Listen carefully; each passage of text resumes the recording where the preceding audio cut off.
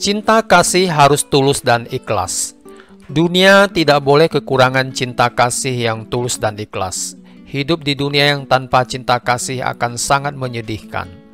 Guru hendaknya memiliki hati bagaikan orang tua, mencintai serta menyayangi anak-anak dengan sepenuh hati. Orang-orang akan bertanya, mudahkah untuk mencintai anak orang lain?